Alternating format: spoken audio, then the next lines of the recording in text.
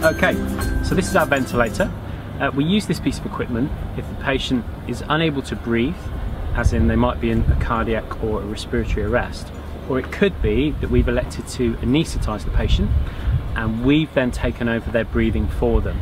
That way we can optimise the amount of air that we give them, the amount of oxygen that we give them, and make sure that they're ventilating correctly.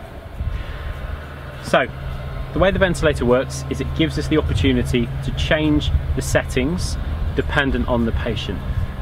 We've got four dials at the front, plus some additional buttons up here.